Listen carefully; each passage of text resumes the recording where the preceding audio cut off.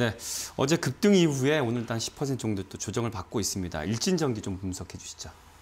예, 요즘 그 급락하는 종목 상위 종목 보면은 이게 이제 뭐 꾸준히 하락을 하다 급락을 하는 게 아니라 전날, 전전날 급등을 한 이후에 급락을 하는 경우가 상당히 그렇죠. 많은 것 네. 같아요. 그래서 이, 오늘 어, 소개해드리는 종목도 대부분 이제 그런 측면인 것 같은데 네.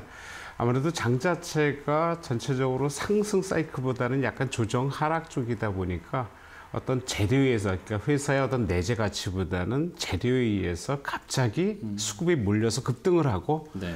하루만 지나면 싸늘하게 식어버리는 뭐 그런 양상인데 네.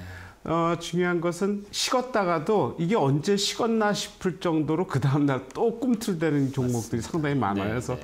아, 그런 측면으로 이해하시면 좋겠다 생각이 드는데 일징전기는 어, 일징전기를 보시는 게 아니라 일징홀딩스를 보셔야 됩니다. 그렇죠. 일징홀딩스 네. 연계해서 보셔야 되는데 어, 그게 이제 PI 첨단 소재 인수권입니다. 맞아요. 인수권 때문에 가- 어제 갑자기 올랐다가 올랐다가 어, 오늘 같은 경우는 홀딩스는 좀 버텨주는데 네. 예, 일진 전기는 어, 먼저 좀 많이 좀 빠진다 이런 생각이 드는데 어, 일단은 빠질 때 적당한 선에서는 현재로서는 좀 전기는 좀 버티는 시각이 맞는 것 같고요. 어, 일단은 상승 부분에서 계속 trading 쪽으로 그러니까 사서 가져가는 것보다는 오를 때 어, 팔고 좀 빠지면 사는 이런 양상의 매매가 좀 필요하지 않나 생각이 듭니다. 그래서 어, 그런 쪽에서 지금 일지 그 PI 첨단 소재라는 회사가 그 polyimide 필름에서 세계 1위를 점유하는 상당히 괜찮은 회사예요. 실적도 상당히 좋게 나오고 있고요. 이게 이제 롯데그룹에서 이제 인수하기로 인수 얘기가 처음에 나왔었는데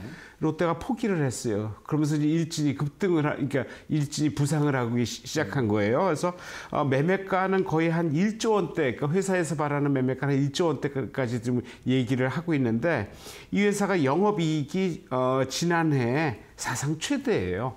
거의 759억이면 전년 동 대비해서 30, 26%나 상승을 했거든요. 그러니까 회사도 좋고 실적도 나고 향후에도 계속 좋은데 일단 뭐 경영권 매각하겠다는 얘기가 나오면서 롯데그룹에 참여했다가 포기를 하고 일진이 급부상하면서 주가가 지금 움직이는 그런 양상인데 현재로서는 어, 재무적 투자자도 있고 해가지고 외국 회사들 칼라일도 있고 그래서 한 10개 정도가 지금 얘기가 나오는데 어, 지금 일진이 가장 얘기가 좀 많이 나오는 그런 양상이다 생각이 드는데 아무래도 개인 매매 중심이기 때문에 아, 좀 전에 말씀드렸던 trading 쪽으로 좀 보셔야 될 것 같고 어, 일진 전기만 하더라도 작년 영업 이익이 아, 200억이 조금 넘었어요. 전, 어, 전년 동기, 전년 대비해서 거의 한 50% 가까이 증가한 수준이거든요. 실적이 상당히 좋아요. 일진 전기 자체가. 아, 회사 자체가 좋기 때문에 아, 조금 이런 재료에서 급등을 하고 급락한 이후에도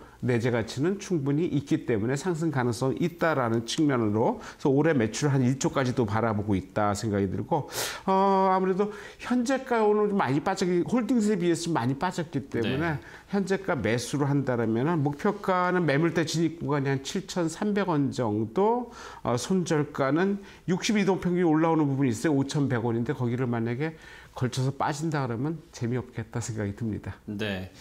뭐 최근에 우리 시장의 특징이 바로 또 기업 인수 관련한 그런 관련 종목들의 급등락인데요. 잠시 후에 또 뭐 여러분이 알고 계신데 최근에 뭐 핫한 그또 관련 종목들도 얘기 나눌 겁니다. 일단 일진전기 어, 버틸 종목으로 이제 보셨는데요. 매매 전략도 참고하시기 바랍니다.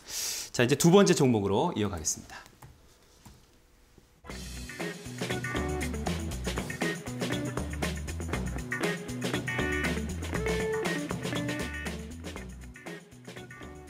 네, 바이넥스는 또, 또 결을 좀 달리 하는데요. 어제는 한 6%좀 급등했었고 오늘은 더 빠집니다. 10%까지 빠지고 있습니다. 예, 모양은 좀안 좋은 것 네. 같아요. 일단은 어제 윗꼬리 양봉을 오늘 음봉이 장악을 해버렸거든요. 네. 거래가 어제 터졌고 오늘 거래가 조금 어제 어제 비해서는 상당히 줄어들긴 했는데 어, 매수세가 상당히 약해진 것 같다. 그래서 일단은 재미없겠다 도망 쪽으로 저는 보고 있는데. 네. 어, 이 회사 어제 장중에 거의 16%나 급등을 했다가 장중에 차익 매물 조정받으면서 6%로 끝났으니까 네, 윗꼬리를 크게 달았는데 어, 내용은 그 신개념이라고 하는 유전자 치료제 전달체라는 게 있는데 아, 요거를 국내 연구진 어, 중대 그 설박사라는 분이 아마 그걸 개발을 한 모양이에요. 네. 그래서 어, 그분이 갖고 있는 회사가 제넨메드라는 회사가 있는데 여기에 지분을 바이넥스가 23%를 갖고 있어요. 장외 종목이 그러니까 비상장 종목이죠. 그래서 갖고 있었고 그거와 연관되면서 어제 급등을 한 거예요. 그래서 어, 현재는 동물 실험 진행 중인데 어, 실험 결과는 한 몇 달 후에 좀 확실한 결과는 나올 것 같다 얘기 들고 나오고 결과가 나오면은 바로 임상 1, 2상을 동시에 진행하는 걸로. 근데 이게 임상이 이제 시작되기 때문에 거의 한 2년 정도는 이상 걸릴 것으로 봐요. 근데 네. 어, 이게 뭐 신약 개발 그런 게 아니라 이제 유전자 전달, 유- 그 유전자 전 아, 치료제 치- 전달체라는 게 어, 아무래도 유전자 치료제 그 핵심 기술이라고 하는데 어떤 기술을 개발하는 것도 임상만큼 그 이- 신약만큼 상당히 오랜 시간이 걸린다라는 생각에서 어, 실적으로 반영 반, 반영 되기보다는 어떤 기대감 회사의 어떤 어, 향후 성장성 이런 쪽을 보고 어, 매매를 하시는 게 맞겠다 생각이 되는데 문제는 어제 공매도가 좀 많이 나왔어요. 이 회사가 어제 공매도가 22억 정도 나왔거든요. 네. 어제 가격 사- 어, 지- 높은 가격이 18,800원, 18,000에서 거래가 좀 많이 됐는데 평균 공매도 가격이 17,500원에 22억 정도가 나왔으니까 한 12만 5천 정도 공매도가 됐는데 아무래도 오늘 봐도 오늘 봐도 공매도는 오늘 나왔을 것 같아요. 그래서 아, 공매도라는 게 아무래도 높은 가격이 떨어질 걸 예상하고 높은 가격에 매도를 하고 낮은 가격에 사서 차익을 내겠다는 그런 개념이기 때문에 아무래도 공매도 세력에 노출돼 있다. 그렇게 재미는 있을 것 같지 않다. 재료는 좀 나중에 아, 실적으로 나타나겠다라는 쪽에서 좀 아, 위험하 좀 부담스럽지 않나 생각이 들어요. 그리고 네. 어, 실적 같은 경우도 이 회사가 작, 작년 영업이익은 조금 하락을 했어요. 전년 대비해서 한 19% 정도 영업, 하, 영업이 하락했는데 올해 1분기는 어, 전년 그러니까 2021년 1분기 대비해서는 한 12% 정도 증가를 해서 45억 정도 나오고 올해 어, 영업이익은 한 50% 정도 증가할 것으로 예상되는 건 가봐야 알겠지만은 네. 일단은 작년보다는 올해 좀 좋아질 것이다. 회사 자체는 좋아지는데 문제는 이런 어떤 재료가 어, 좀 일시에 올라갔다 소멸될 가능성도 없지 않았. 않겠다 생각이 듭니다. 그래서 어, 제 개인적으로는 현재 장 자체 그래프 자체가 조금 좀 안 좋, 그러니까 좀 어, 음봉이 양봉을 좀 장악한 그런 상태에서 좀 바로 올라가기 쉽지 않은데 글쎄요 요즘 같은 장에 뭐 갑자기 빠져 서두 말씀드렸지만 빠졌다가 그 다음날 되면 언제 그랬다 지금 올라가는 경우도 많이 있거든요. 그래서 아무래도 상승 시에는 그냥 매도하는 쪽좀좀더 지켜보자. 하락할 때 따라 매도하는 것보다는 어차피 지금 갖고 계시다면은 상승 시에 매도 새로 사는 건 조금 조심해서 장중 trading 개념으로 생각하고 만약에 재미없게 계속 빠진다 그러면은 어 지금 60일 이동 평균선 움직이는 한 14,000원대 있거든요. 네. 14,000 이하를 어 하향한다면은 재미없겠다 생각이 듭니다. 네. 그러니까 뭐 바이오 의약품 쪽에 이제 위탁 개발 생산 그런 수주에 대한 좀 뭐 증가 기대가 있기 때문에 실적은 좀 나아질 거라 보지만 일단 단기적으로 봤을 때는 상승 시 매도 그리고 또 신규 매수는 조금은 부담스러운 자리 좀 그렇게 좀 이해를 하시면 되겠습니다. 자 바이넥스에 대한 분석해 드렸고요. 이제 세 번째 종목 이어가겠습니다.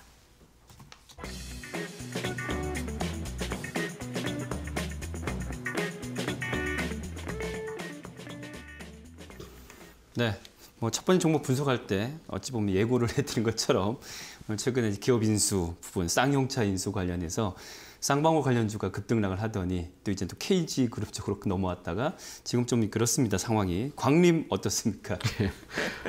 아, 진짜 가장 최근에 말 많은 이제 얘기지요. 네. 쌍용차가 과거에도 이제 인수합병 얘기 나오다가 몇 번을 거쳐갖고 실패를 하고 아, 가장 최 이제 마지막에 나온 게 이제 그 에디슨 모터스가 인수하는 쪽으로 했는데 거기에 이제 상장사가 에디슨 EV예요. 근데 지금 거래 정지, 정지, 상태거든요.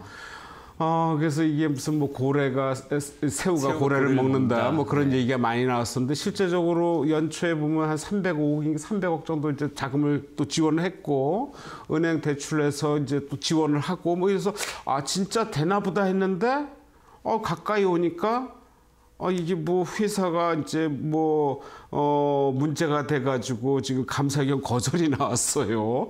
어, 지금 이게 어, 인수하는 회사가 그러니까 어, 새우가 지금 어, 그런 상태가 되다 보니까 이게 뭐 여기저기서 다시 이제 막 튀어나와서 내가 인수하겠다라는 얘기가 막 나오는데 어, 일단 그 EV 같은 지금 이제 광림을 얘기하는 것보다는 거의, 거의 쌍차에 관련된 모든 종목들을 좀 다 한번 언급해 볼 생각이에요. 네, 그래서 네. 어, 거기에 이제 상, 이제 그 기존의 그이 에디슨 EV는 지금 상장 폐지기까지 지금 얘기가 나오는데 뭐 그렇게까지는 안 될 것 같은데 네, 네. 좀 시간 좀 계속 걸릴 것 같아 거래 정지는. 어, 그래서 이- 이게 인수대금 납입을 못한 거예요. 결과적으로 맨 마지막에. 그러니까 어, 쌍차 쪽에서는 어, 이게 기존에 했던 협상을 철회시키고 없던 일로 했다 그랬더니 여기서 이제 뭐 특별 항고를 또 한 모양이어서 이제 어, 정지에 대한 가처분 신청을 해달라고 또 신청을 한 상태인데 어, 그 와중에 이제 쌍방울이 튀어들어왔어요. 쌍방울은 어, 그 거래소에 상장된 회사가 많아요. 광림 지금 대표적으로 광림 있지요, 비비안, 나노스 있지요, 뭐 많아요, 많은데 회사들이 전부 다 좀 고만고만해요. 실적도 네, 별로 네, 안 좋고요. 근데 일단 쌍방울에서 지금 나오는데 쌍방울에서 IOK 하고 이제 EM 플러스라는 회사가 컨소시엄에 들어오는데 EM 플러스에서 또 안 하겠다고 빠져나가 버렸어요. 그러니까 지금 또 흔들거리거든요. 네. 그래서 지금 어, 어제 같은 경우 그제 같은 경우인 거예요. 그제. 미래산업에서 지금 IOK 주식을 또 팔았어요. 124억. 그래서 이게 먹튀 논란 아니냐 이게 또 많이 나오고 있거든요. 아 근데 실제적으로 이게 먹튀인지 아니면 실제적으로 인수하기 위한 자금을 마련한 측면인지 그건 모르겠어요. 왜냐하면 어 쌍 미래산업에서 IOK 주식을 판 지금 팔았는데 그게 사들인 가격의 거의 반값에 그냥 손절을 친 거예요. 그래서 이게 어, 이틀 상쳤을 때 진짜 어, 더 이상 안 좋으니까 그냥 빠져나오려고 현금 확보할 현금 취하려고 그냥 빠져나온 건지 아니면 진짜 현금을 확보하기 위해서 나온 건지 그리고 최근에 금융권을 통해서 4,500억 장 자금의 그 인수자금 조달을 지금 준비를 하고 있어요. 그러니까 뭔가 좀 공시 그러니까 뭔가 보여주려고 꽤 노력을 하는 것 같아요. 쌍방울에서 또 미래산업 지분을 갖다가 아, 매도하겠다는 입장 자금 마련을 해서 매도하겠다는 얘기도 나오고 어, 뭐 여러 가지 얘기가 나오는데 이게 실제인지 진짜 뭔지 어떤 액션인지는 모르겠지만은 하여튼 그런 쪽에서 있고 그 거기에 또 하나 나온 게 이제 KG 그룹이에요. 어, 이데일리가 KG 그룹하고. 연계되잖아요. 그래서 이게 좀 업종은 완전히 좀 달라. 이종원 산업이어서 이게 가능할지는 모르겠는데 KG 그룹이 자금력이 풍부해요. 그래서 자금을 바탕으로 해서 오는데 아무래도 쌍용 쪽에서는 가장 중요한 게 자금력이거든요. 그래서 그런 쪽에서도 점수를 주려면은 어또 이게 가능할 수도 있겠다. 해서 뭐 이 KG 케미컬이라든지 ETS 여러 회사들이 오늘 뭐 급등 나가랬다 빠졌다 하루하루 다른데 이세 지금 세 축이에요. 기존의 에디슨 EV하고 EV하고 연결된 지금 회사가 UNI가 또 있죠. 맞아요. 그래서 정지당했으니까 UNI 그 다음에 쌍방울, 광 림, 그 다음에 KG 관련 그룹주 이게 세 부류의 종목들이 올라갔다 뒤치락거리면서 왔다 갔다 그러거든요.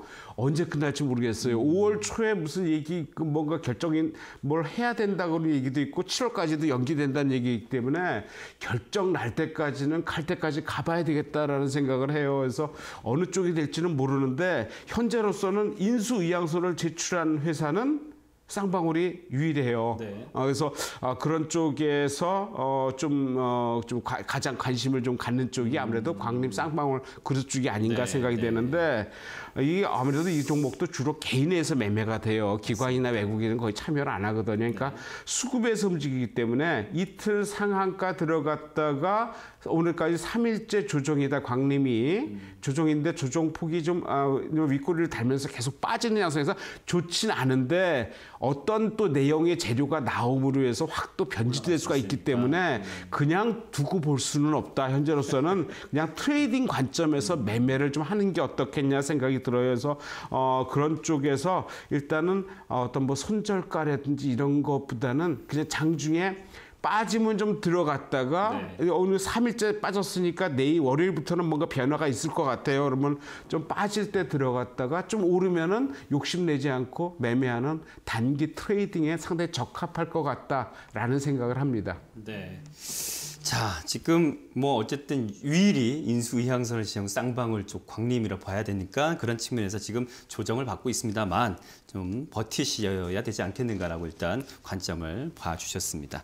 자, 오늘 와이라노 함께 하신 분 인베스트 자문의 인성희 고문이었습니다. 오늘 말씀 고맙습니다. 네, 고맙습니다.